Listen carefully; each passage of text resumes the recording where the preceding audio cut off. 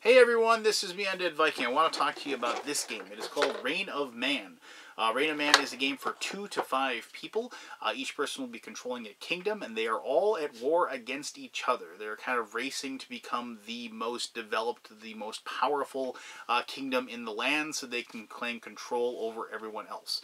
Uh, this is a game that has very few uh, rules. It is really straightforward, uh, but it has wonderfully deep gameplay and very, very satisfying uh, mechanisms to to to uh, play and to act upon. So let me uh, let me show you how to play uh, Reign of Man, and then we'll come back here and I'll tell you a little bit more about why my gaming group and I have been enjoying this one. All right, cool.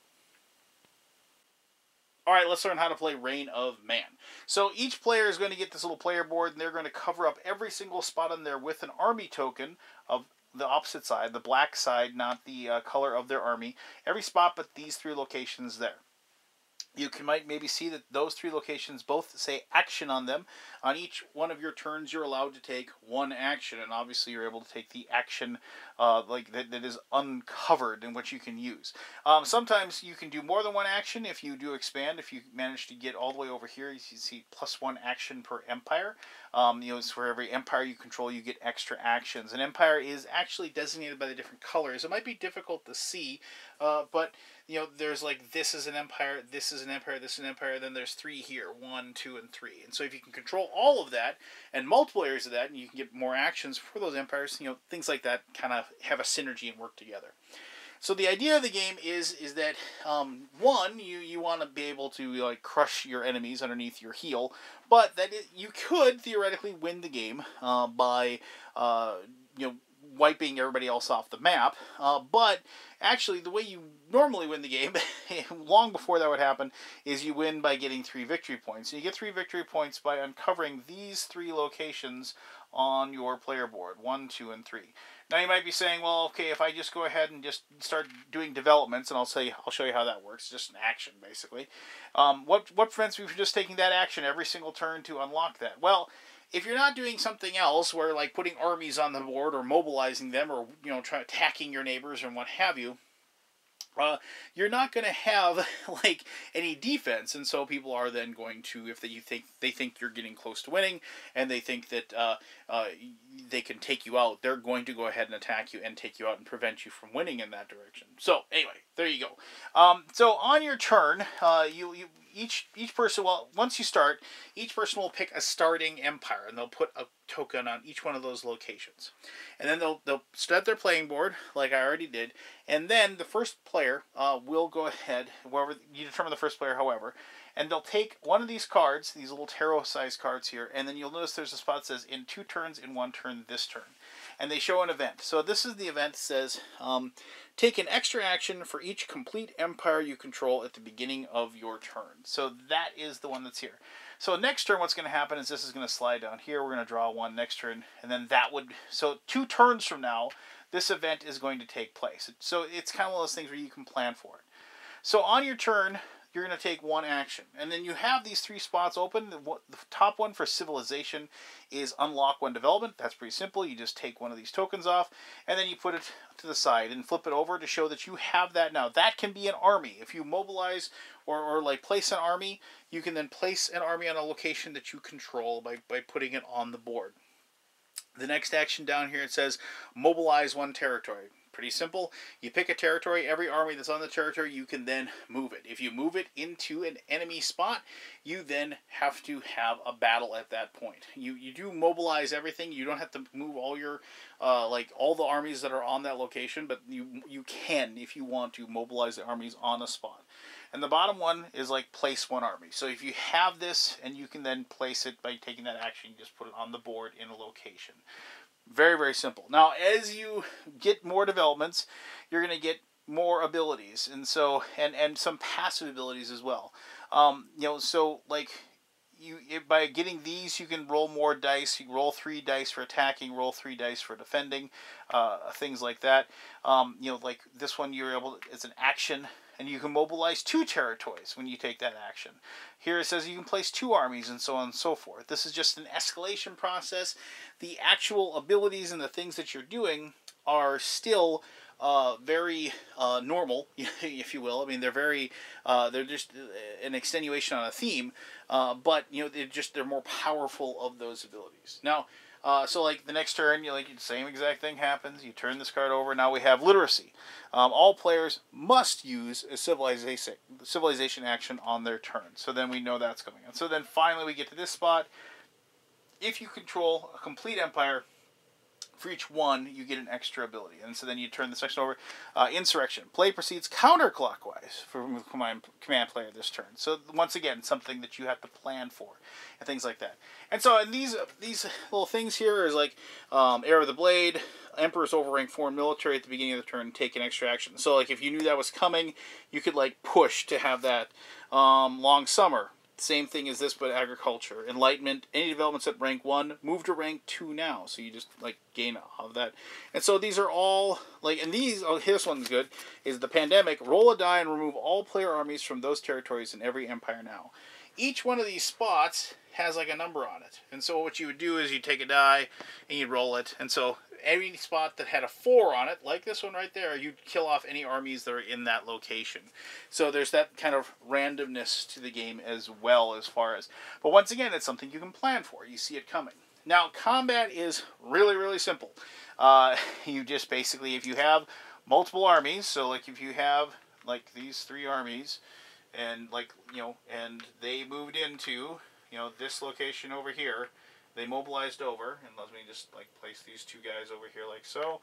You're gonna just roll dice and and compare. Unless you have an ability that breaks ties, ties nothing happens, and you're just gonna compare uh, the dice to each other. And so like you, the attacker rolls the dice. And if you've played Risk, you can probably guess what's going to happen here as far as the dice go. And in this case, you'd match up the dice, and for every one that you beat, you just destroy the army. Um, all there is no retreating in combat. You have to fight to the death, um, and once and you just all armies that are killed are returned and placed by the by the side of the game board to be placed later. Um, you know, and that is very simplistic. I, I like the combat.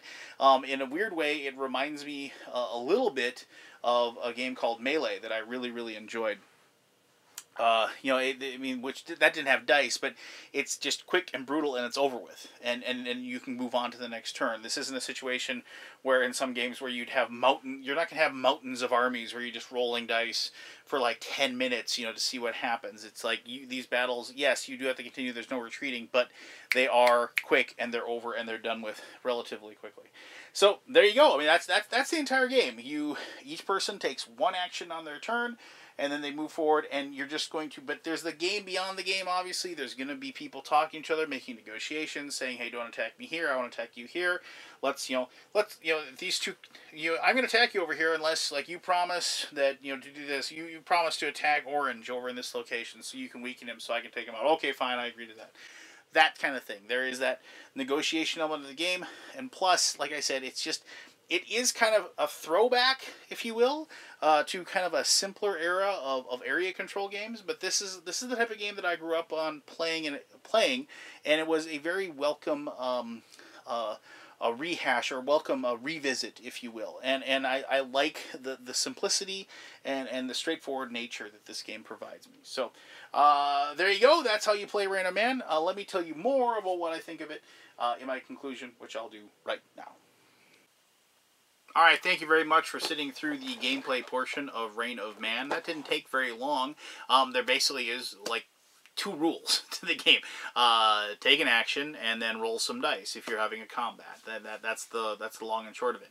However, don't let that fool you. As I stated in the introduction uh, and and elsewhere, I mean it's just the game has some has a lot of depth to it. It has a lot of uh, gumption to it. It is yes, I mean uh, allusions to classic area control games of our youth are, are not completely incorrect to be made, but there is so much more about this game because it isn't just just about conquest. It's about developing your abilities, developing your powers. And the thing is, is that yes, development is powerful. Like being able to roll more dice or, or being able to mobilize more armies. Wonderful, wonderful power. But the thing is, is that you take that action. That's all you do. I mean, you just you just give yourself. I mean, you have to to give yourself that army, but you're just kind of resting on your laurels then, and you're letting everybody else like move around and you know and theoretically they're attacking you and and yes you might be making yourself more powerful later but right now that same turn that you did that all of a sudden the people have come in and taken a bunch of your territory and yeah sure you can mobilize more armies but now you don't have any armies to mobilize you know so it has like that kind of wait and see and that's where the negotiation and the game beyond the game comes in. Um, I, I really really enjoy games like this just because um, it doesn't take a long time for there to be conflict. Every single one of these kingdoms are already right against each other. This isn't a situation where you have these buffer zones where you can kind of build yourself up a little bit. You know, no, I mean you're you're right at the gates right away from the get go, and and so you need to be making friends quickly. And this is this is one of those classic games where my buddy Craig will immediately say right away from the beginning, how about we all team up against Lance? like we, before we even like uh, anybody's even breathed, you know, or I've, I've, even like even gotten through like the second or third rule explanation, I, you know, and that's all the rules too for this game, if you will. So, so there you go. Now, I, I, would be remiss if I don't mention that in the Kickstarter there is actually a. Uh, uh, if they hit a certain goal. Um, there is a, a, another way to play the game that is called the Lich Queen, and um, what that is is that uh, basically, there is uh, an undead army, uh, and there's these event cards that have to do with the Lich Queen that are entered in. There is an undead army uh, that you can fight that is very difficult to defeat, and if you lose to it, your armies actually become members of the undead army. Um, and you you actually the player boards are double sided and on the other side you will see that there is the lich queen sitting there. And then your like the powers actually do um, have like certain things. Like normally, like you you can't um, uh, you can win ties against liches with with uh, opening of the civilization, or you can like you have to roll a six uh, normally to, to to kill a lich army. But like here, like if you get that a five or a six will destroy and things like that. So and you're not going for um, you're not going for victory points with this. Uh, yes, you're fighting the Lich armies and things like that because they move and they, they consume your empire, so you need to be on your toes. And this doesn't mean you aren't attacking the other players either. This is just another thing you have to fight with. But you'll notice that there is actually a scoreboard on the top and the bottom of the player board there. And then what happens is that that's your influence. And so on the bottom part, the, the, on the agriculture, the agriculture line actually gives you influence points.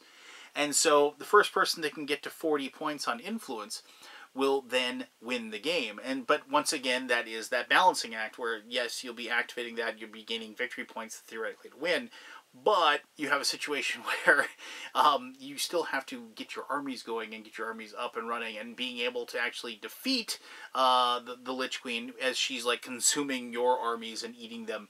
Um, you know, it, it, it, makes for a very difficult uh, task, if you will. If you're just sitting there like using agriculture, that's not going to work for you. So, so there you go. I mean, so that's like a stretch goal, and and I was the designer was kind enough to include that with the game, and I played that, and I, I that's a very enjoyable variant. I enjoy them both.